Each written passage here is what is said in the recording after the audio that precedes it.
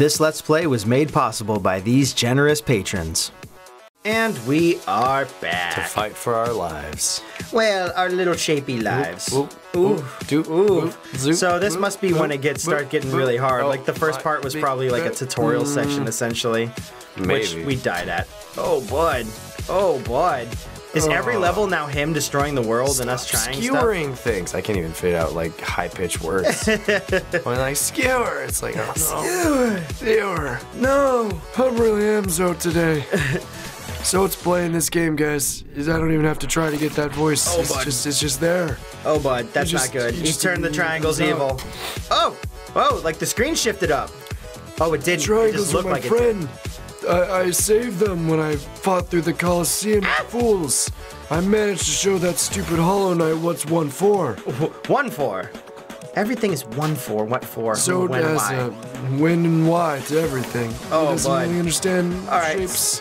Stop eating that. That's my cereal, you son of a bitch. That's my triangles family. Mike Wazowski, give that ship. No, you only have one eye. That's not possible. Oh no! Help! Help! Help! Help! Help! Get your Daft Punk to episode 9 bullshit out of here. Episode nine. I don't know, 9, that! I tried to save you, but you were kind of like out in the damage area. bad movie that had 9 characters that were sacks. What? And oh. the oh, movie oh, I know what you're talking about. And uh, you look like a I rejected I think it's just number nine. I also saw that copyright thing. You can't steal the Mario sound effect in the pipe. Did they have it? Yeah. I don't think it was. That was just that right there. Come on. I don't think it was, buddy. I think it was. Oh, bud. Oh, bud. That Oh, was bud. mushroom sound effect. You cheating bastards. This is fun. I like this. Take your Q*bert Pac-Man bullshit and get out of here. oh, I don't know how to handle this. you look like a bad 90s logo for a skateboard company. No, that'd be an awesome skateboard company. Dude, I would I would actually learn to skateboard if they No, I wouldn't. So doesn't like anything but himself. He only likes him. Oh, bud. I uh I tried to learn how to skateboard. It didn't work. No. Apparently my brother's gotten better at skateboarding. No. No. He was lied to and said like, oh yeah, it's a 15 minute walk. It's like a 30 minute walk. So like, you know what? I'm gonna get a short board.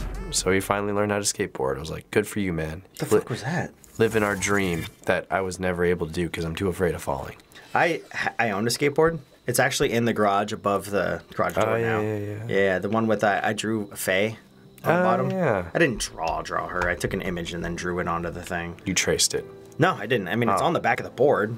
I actually drew it, but I mean, like, I didn't like come up with it in my own brain. Oh, okay. You know. I thought you might So technically, to me, that's not me drawing. Yeah. Uh, do we want to go to the right? That's I the way mean- he was going, right? it's drawing. Some artists are only good at copying, like all those photorealistic artists. I wasn't even good at copying. I just copied. I'm just saying in general, some artists are just only good at copying. Like they don't have any. Their imagination doesn't really allow them to do like super imaginative stuff, and they're amazing copyists. But when it comes to like their own creative work, That's still that be an artist, right? it's still an artist. No, Like no. a cover band is still a band. This is fucking Super Metroid. is this? It is totally Super Metroid. I don't. I don't. Uh, how? How so? Boom. It's literally the music from Super Metroid. That can't be right. No, it it fucking is. That can't be right. That is the intro to Super Metroid. It's probably gonna change now, but it's a remix. Now it's different, but that beginning is You're gonna have to show me. you're, you'll listen. And you'll be like, that's fucking. I never played Metroid, so any of the Ah. Metroids, so If Couchlings requested, I would love to play Super Metroid. that would uh I've- I've watch never- them get you like that that Metroid one without Samus in it at all. What is it like the Metroid, Federation the four-player Force? one, or yeah, Federation Force or whatever it is, I'd play that. I never. the one that it. people hated or whatever. I heard it was an okay game. It just it wasn't a Metroid game, so people were like, "The fuck, Nintendo," because that came out at a time when there was no Metroid game on the horizon. They hadn't announced four. They hadn't done Samus Returns for the 3DS. Mm-hmm. So people were just like, "The fuck? Why is Metroid always so secretive? Just tell us the new game is being produced." That's right. Didn't they? Did, wasn't that a big deal? Like, uh, oops. Oh boy. I, I'm I, understand why Nintendo doesn't because they have so many projects that they just scrap. They're kind of like Valve, but actually make games. Um, Nintendo will go with a game like really far and then decide game. like it's not good, and then just they'll just fucking scrap it. I mean, that makes sense. That high high standard, like like they have high quality standard. for certain series. Like let's not yeah, give them. Let, or not, all of. I'm not like Yeah. on their dick. No, I'm just I'm saying, just like- saying like I can see why they're they they want to. Fuck! I tried to get to you in time. for their main franchises, yeah, they like when it comes to Link. And despite what people say, Skyward Sword's a good game. Go fuck yourself if you think it's not. Too much water. Um, Most of the time, like they will just they'll hold on to games that they don't think are ready, which I appreciate. I would rather a game come out when it's ready Mm-hmm. and wait a long time than get a subpar product. That makes sense. I mean, that makes a lot of sense because they, they have like a quality to have to uphold, Yeah, you know? So these guys are just, we just jump inside of them and then dash to the next one. That's all That's is. why many people I think were upset with Metroid 2 because Metroid Other M wasn't that great. Like Yeah. It wasn't even the gameplay. The gameplay wasn't that bad. It was the story decisions. They made Samus into a very weak, like, damsel in distress. Like, no, she's your. Isn't there something like, uh, like she keeps calling the Metroid a baby, her baby or something like that? She keeps calling her a baby, and she like won't. She doesn't like break command, and she's always just, no, I'm gonna listen to my admiral because he's Admiral Adam, and he knows what's best. It's like, fuck, you're Samus Aran. You're the most badass Nintendo character Is alive. Is it Aaron or Aran? I always called it Aran. think Samus it's Aran. Aaron. I have, I don't, I have no It- idea. actually, I think it is Iran because oh crap! I can get hurt out in the overworld. It's A R A N. Uh-huh. Samus Aran. I always say Samus Aaron, but it's probably not because I'm pronouncing. I I, think no with an. I. It's probably Aran. What is this? Cascade? Oh, these are individual levels. Nice. Let's do Termination Shock. Sure. Start off that. But yeah, regardless, Samus is like your coolest, most confident character, and Mm-hmm. they turned her into like a weak. That I could see how that weak, would be like. a weakling, like a weak character. Like the characterization was just so bad. I can see how that would. Team You're Nin- gonna get out of that. There you yeah, go. Team Ninja, the guys who make Dead or Alive, it's like God, you guys butchered her character. Well, I mean, And I think dead that or alive, right? yeah, but even Dead or Alive has better storytelling. Like Does it? Dead or I Alive always actually. thought Dead or Alive was Just boob like- physics? well, yeah, mostly. Uh, but I, I know that's just a part of it. But I always thought Dead or Alive was mostly just like the video game equivalent of uh, like Fap Simulator 2020. No, no, no. I, I like like vapid essentially. Like Yeah. they didn't really have like Mortal Kombat esque storylines. Oh, and I. I wouldn't say they have that kind of storyline, but there is No, no, no. there there is a storyline in those characters. I didn't even realize it. I thought it because was like you know the Ninja Gaiden games are connected, right? It's all the same shared universe. what? Yeah, because the Ninja Gaiden characters in Dead or Alive, um, Ryu Hayabusa's in those. God damn it! games. Thank you. Uh, his last name's Hayabusa. Yeah. Oh, buddy. His sister Kasumi, like it's actually got a lore and like. It's not bad. I mean, it's not great, but it's not bad either. You're like, Huh. yeah, it's okay. I had no idea. Wait, we st- we didn't start at the beginning. Most fighting games have a lore. Um, oh, we have checkpoints. That's why. Oh, that's right. You're right. So we must have just got the checkpoint Mm-hmm. right before we we got destroyed. destroyed. It's funny. My voice was like, no, don't say the word. Dunkey did a video recently about Nintendo games and being hard, and Uh-huh. it very crystallized exactly my feelings. When people say Nintendo games are hard, it's like no, Nintendo games played shittily. Like let's not They give them played shittily. let's not give them credit. Like they played like garbage for the most part. Those controls. Oh, you're talking about hard games back in the day. I thought you were talking about now. no, I'm talking like Nintendo stuff where it's like you play those old NES games. Like yeah, they're fun, but they also didn't control very well, and they were made unfairly. They were, yeah, yeah. Dunkey's Dunkey's recent video regarding the the unfair video games back in the day, like retro games. They were like, oh, they weren't just harder; they were just Unf- not yeah. reasonable. they weren't reasonable for a human being. They were meant to be uh-uh. so punishing that most people can't do it. Yeah, I like when Donkey does those style videos. Yeah, because he's, I mean, he's a smart dude and he plays so many video games. He does have a decent opinion on all this stuff.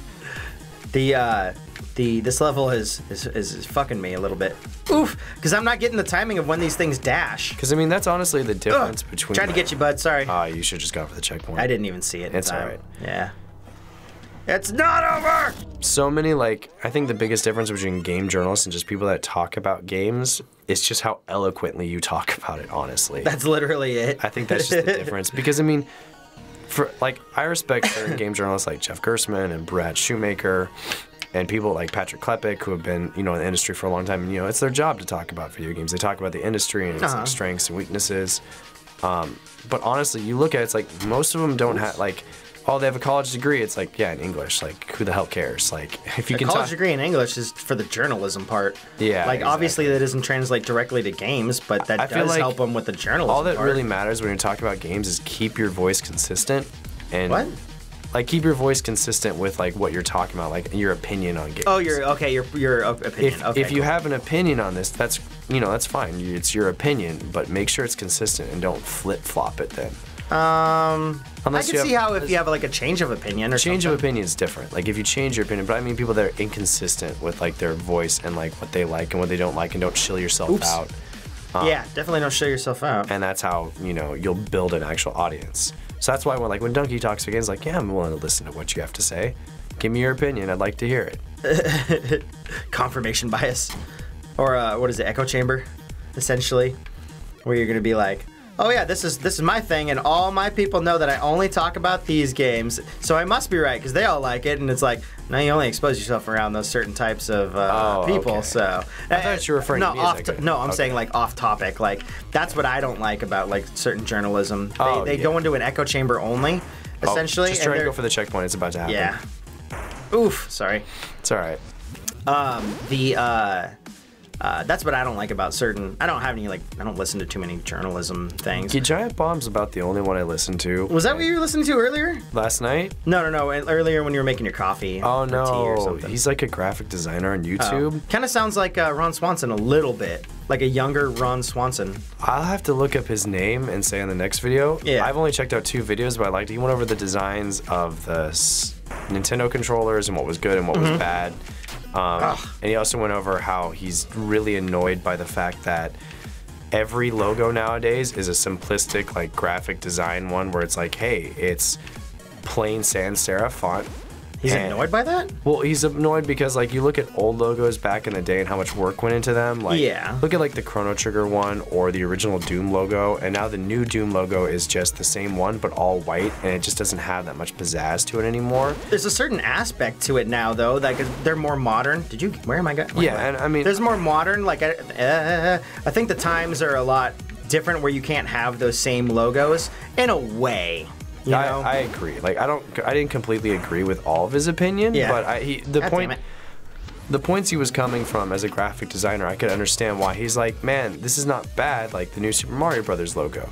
Yeah. He would talk about why is super off-centered and why do they just tack on this tacky new like sticker you'd find at a department store.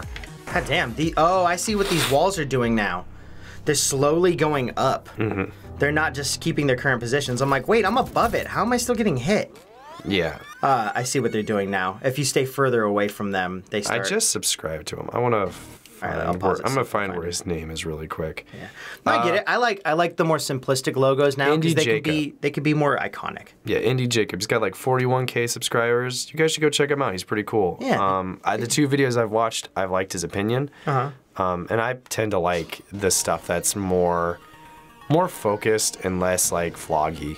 Um, Okay. I, I only if that's the same one I was referring to, like you were listening to while you were in the kitchen right what I was before we the started kitchen. recording. Um, the uh, he sounded kind of like a young Ron Swanson a little bit. huh. I was like, oh shit, like. So my my thing here is just like dash back and forth between them to the beat, beat, beat, essentially to like keep dodging them. Uh, because otherwise it's like, oh man, these are kind of hard to dodge. Um, I, I'll I'll have to check them out. And Indy Jacob, Indy Jacob, yeah. Sounds sounds cool. He's a graphic designer. Like I watched this one thing on the logos. Like he got annoyed with Destiny. He's like, there's this weird. He's like, ooh, sans serif font and a weird looking vagina at the bottom. what? I can't think of what the what the Destiny, logo, looks is- like. It's like that weird U shape with something in the middle, and then when he, as soon as he said vagina, I'm like, it does. U shape. It does look like a vagina, doesn't it? Oof. Um, is it the? I mean, I don't know. I haven't played Destiny since Destiny One, and even then, I didn't play much of it. Um, isn't that like called the the orbital or the? Did you ever play Destiny? Uh, no. I guess I would be talking with Mike about that. Yeah. Um, the I- the it's like a the big moon thing in the center where everyone gets their power from or some shit. Yeah, like I think that. that's what it is. Yeah, I forget But I think his just bummer was like Maybe it's like the the over reliance. Like you look at all the logos, they're just like super simplified to the point where like it feels like they don't put any effort anymore into the Really? logos. I feel like I I feel like I feel like I've heard the opposite. Um, Yeah. But I'm not a graphic designer, so I'm not entirely. I mean, it's a, it's also just like a difference of opinion. Like, Yeah. do you like the more? I kind of like the modernized logos in some ways. Uh-huh. Um, I do think there's a certain place for Fuck. the more complicated logos. Uh-huh. But like for this game, I thought this had a good logo. God damn it. Um, it is very simplified, and it needs to be essentially for how this game plays. Yeah, and for a geometric game. Mm-hmm. Oof, oof, oof. I think you just meant so much the over reliance on like, hey, it's a white font with simple block font. Like so many games do that now. It Mm-hmm. just wishes there was more diversity. Like you look at pretty much every EA game, it's like But I think there's a lot more companies nowadays too, so it can be easy to get lost into the into the. like I would say like a really great logo, logo is like you look at the Hollow Knight one or Shovel Knight. Like those are great examples there you go, very good, man. of good logo design. Just, just, just don't get me. Don't get me. There you go. Now you can go. Uh, Hollow Knight's Hollow Knight's pretty good. I, I mean, I, li- I really like logos. They, I think they all look great. They all have different aspects. I like logos that convey things. Yeah, that's what that was more so what he was getting at. Like you look at the Yeah. Battlefield logo, it doesn't really convey anything. Like Battlefield 5, I mean, uh, how would you how would you design like a battlefield logo though, other than don't the know. title and like maybe like an explosion I- or a I gun or a tank or a that jet? would be really hard. Like you don't want to do too much like Yeah. Symbolism. I, I would say uh, a battlefield logo couldn't be simplistic. It has to look like one he went know. over was like the Tomb Raider one, where it's just like block font and it's just black and red. Like he's like they're not bad. It's just like he wishes there was more Mm-hmm. to them, more that really like spoke I get you. what the Okay. game is about, and less like because you look at like Tomb Raider, Uncharted, all those games like they're all the same style. Whereas back in the day, design logos were so different for every game. Like there was personality in every single one, and it feels like a lot of personality has been sucked out of the logo design. That if you saw it, you'd be like, I don't know what this is about. I don't know what this game even conveys. Like, okay, it's Uncharted. It, it's just white font. Like, what what does that mean? If you don't have the rest of the game to be there in the background, Yeah. um, you don't know anything about it. How would you do Uncharted? Like put treasure or something, or maybe like a map? I honestly don't know. Or- I think Uncharted. I think I, I didn't. logo You, is you know, I hadn't played the whole fucking game. yeah. Like Assassin's Creed has a good stylistic logo because it uses simple font, but it's like very italicized. And Yeah. It's got the logo in the background, like just enough to where it's like, hey, one logo you point out which was garbage, which even though I love the franchise, I agreed. Uh, Kingdom Hearts, 358 two over. No, it was the. Oh, that fucking title. it was the prologue. It garbage. Was like, it was like prologue 2.8. He's like, why are there like four different strokes and eight different gradients going on in this one logo? What the fuck are you? guys, what the fuck are you guys smoking over there? oof, oof. And I looked, I was like, yeah, that that logo's pretty bad. He's like, man, you look at Kingdom Hearts 1 and Kingdom Hearts 2. Andy Jacob goes, those designs are beautiful. They're great. and then you look at the hot garbage they started producing. It's like, why? Why, why, why would you do this? but Yeah, I can't think of what the logos look like right now, but I, because I don't, I didn't like recognize them or anything. But I mean, uh, yeah, I know what you're talking about when it just looks so busy. It's like, all right. I mean, I guess they're that is symbolic of how fucking convoluted the game is. Something that's the like- game's story is. Like you think of like the messenger, like it's Uh-huh. that blue slanted font, like that tells you kind of a lot about the game's character in Mm-hmm. a lot of ways that if you just did the messenger in white font you would. I think that was more so what he was getting at is Uh-huh. he wished there was more there was more style to it cuz like Hollow Knight's logo, I know it's Hollow Knight. And I kind of get a feel I mean, I kind of feel like that's what is going on with Uncharted too, though. I think isn't that why Uncharted's- Uncharted's, kind yeah. of iconic? Because like that's why you only need the white logo. Yeah, I would say Uncharted's not the like Maybe for the first one, yeah, you definitely need Yeah. to. But like by Uncharted three or Well, four, Uncharted one had seven a, or a 20, bit more 22. unique logo. I think the first one did, but then they just more and more of the new like AAA games have seemed to have gotten away from those unique logos. Like Breath of the Wild's got a great logo. I mean, Mm-hmm. there's still great video game logos, but a lot of like a lot of games seem to come out nowadays where it's like, hey, it's Serious Sam, and what's Serious Sam's logo? Now I don't know what Serious Sam's logo is, but You just wanted to use your name. I fucking know this song. Is this Chipzel?